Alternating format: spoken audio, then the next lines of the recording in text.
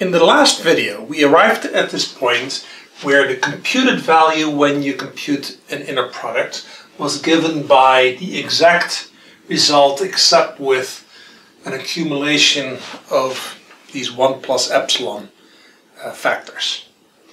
And you know, that kind of gets in the way of conciseness.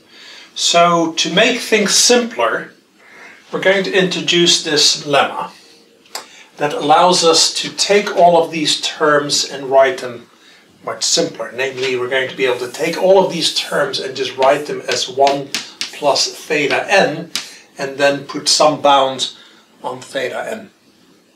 That's the purpose. So, how can we abstract away from the details there? Well, we can say, what if we have n epsilons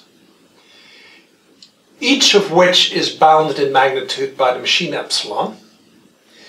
And n is such that n times the machine epsilon is less than 1. Now, that's not that much of a constraint, right? Because the machine epsilon, even if you just use single precision, is 10 to the minus 8th, so n you know, could be as large as 10 to the 8th, which is a pretty long vector. All right, so if we have that, then we can take the product of n such 1 plus epsilon terms. This is just a more concise way of writing that. And find a theta sub n such that 1 plus theta sub n is equal to the product of all of those uh, factors. Okay?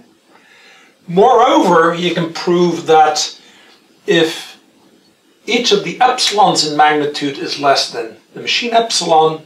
And you'll notice that the absolute value of theta n is then less than something times the machine epsilon, where that something is um, a function of n.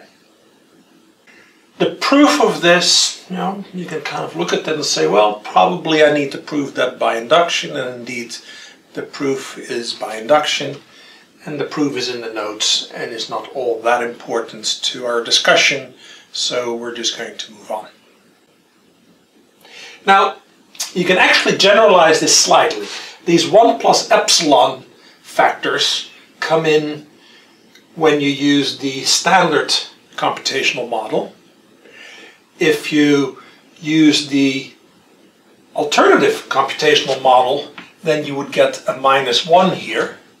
And if your analysis is such that you have to mix and match the computational models, then actually you can show that if you have a product of a whole bunch of terms that either are multiplied or divided, then the result still holds.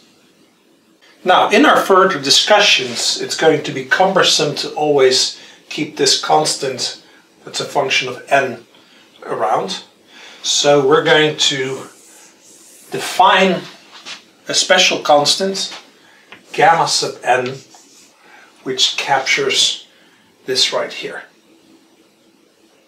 And that's actually what we're going to encounter when we do our analyses.